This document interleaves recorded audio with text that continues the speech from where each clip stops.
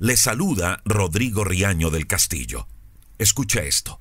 Las personas que sobresalen en la vida son aquellas que se trazan metas, aquellas que se fijan un objetivo y ponen todo su empeño, todo su esfuerzo por conseguirlo.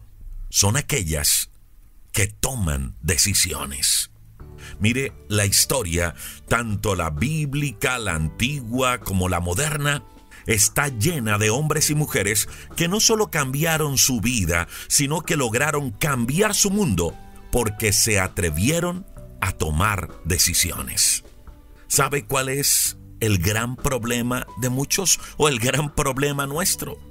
Que muchas veces nos quedamos navegando en el mar de las buenas intenciones. Y hay un espacio, hay un vacío, hay una brecha entre las buenas intenciones y los hechos y la acción. ¿Y sabe qué es lo único que puede llenar esa brecha entre las buenas intenciones y la acción? Las decisiones. Mire, si no hay decisiones, si no hay determinación, si no hay firmeza, las intenciones no dejarán de ser solo eso. Deseos que se extravían en el camino propósitos y sueños que se desvanecieron con el paso del tiempo. Mire, ¿sabe por qué el hijo pródigo, en la historia que contó Jesús en Lucas 15, recuperó su posición de hijo? ¿Recuperó su dignidad? ¿Recuperó todo lo que había perdido? Porque no se quedó solo con buenas intenciones. Permítame y le recuerdo un poco la historia. Para aquellos que aún no la conocen. Dice Lucas 15 que un padre hacendado con mucho dinero tenía dos hijos. Y uno de ellos, el hijo menor, le dice a su padre, Padre, dame la herencia, lo que me corresponde, pero dámelo ya en vida. Y dice el relato bíblico que contó Jesús que su padre le dio la herencia. Y su hijo lo vendió todo y se fue de la casa, se fue lejos de papá. Y estando por allá en otro lugar, malgastó todo lo que tenía. Y cuando se vio sin nada, sin un peso, sin amigos, sin nada, inclusive sin nada que comer, no tuvo otra opción que buscar trabajo. Y el único trabajo que consiguió fue el de cuidar cerdos. Y dice que era tanta el hambre que tenía, pero a su vez también la escasez, que le provocaba comer de lo mismo que comían los cerdos, pero nadie le daba hasta que llegó un día que el hijo pródigo volvió en sí y pensó, hombre, mi padre es millonario, es hacendado, tiene mucho dinero, ¿qué hago aquí yo muriéndome de hambre? Y pensó y dijo, voy a volver a la casa de papá y le voy a decir que me perdone, que me reciba de nuevo en casa, así sea como un trabajador más. Voy a estar en mejor condición, no importa. Y luego dice que este hijo se levantó y se fue a buscar a papá. Y cuando papá lo ve de lejos, sale, lo abraza, lo recibe y le devuelve la posición que había perdido. Le repito, mi amiga y mi amigo, el hijo pródigo recuperó su posición de hijo, su dignidad, recuperó lo que perdió porque no se quedó solo con buenas intenciones. Mire, Lucas 15, 17 dice que él volvió en sí. Allí cuidando cerdos, él dijo, no es justo que esté en este lugar, estoy en una mala posición. En ese momento, ese hijo, que no la estaba pasando bien, tuvo la intención, el deseo de hacer algo. Le vino una idea a su mente. Hasta allí la intención.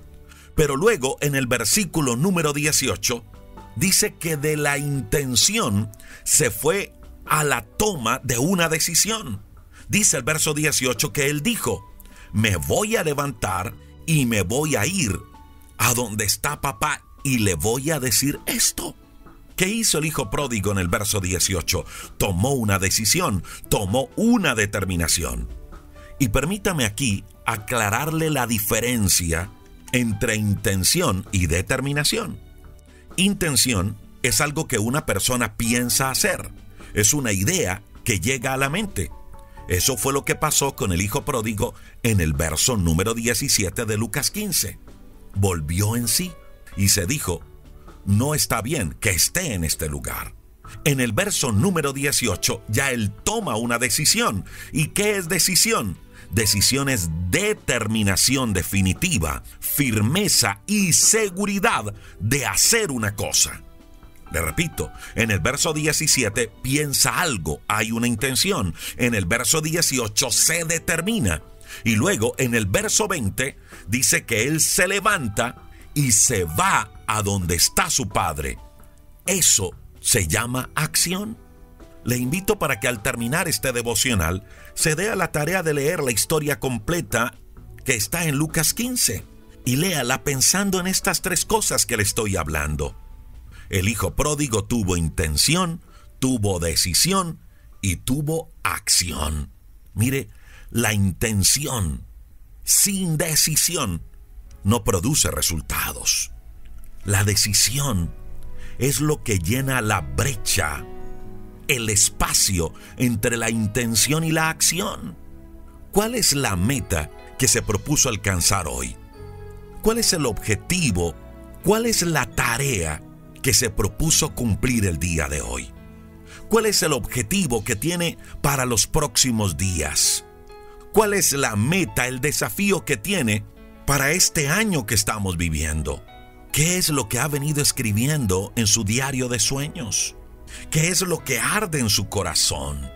Mi amiga y mi amigo, no traicione su sueño, no traicione su propósito, quedándose solo con buenas intenciones. Las buenas intenciones por sí solas no le harán mejor. Las buenas intenciones por sí solas no le llevarán al lugar que tanto ha deseado. Las buenas intenciones por sí solas no terminarán lo que se ha propuesto. No harán que los sueños se cumplan. Las buenas intenciones por sí solas no le llevarán al lugar donde Dios le quiere tener.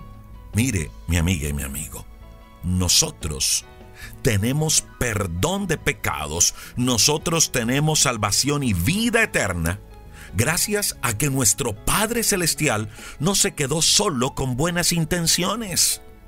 Él tomó una decisión. Y dice Juan 3:16 que por amor envió a su Hijo. Tuvo una intención, luego una decisión y por último una acción. Tres cosas que usted y yo también debemos hacer si queremos sobresalir, si queremos cambiar nuestra vida si queremos cambios en nuestra familia, si queremos cambios en nuestro mundo. Intención, decisión y acción. Señor, te doy muchas gracias por cada persona que se une en esta oración, en este devocional, que lo escucha y que aún lo comparte. Dios, nuestra oración hoy es que nos ayudes a ser determinados, que nos ayudes a tomar decisiones, Dios.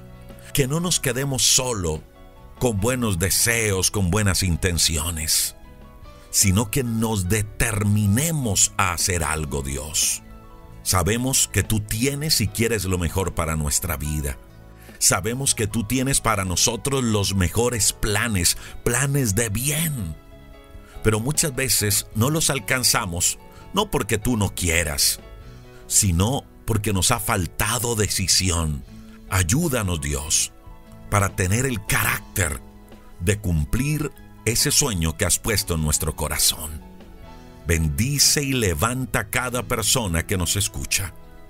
Y hoy, Cristo Jesús, te declaramos como nuestro Señor y como nuestro Salvador.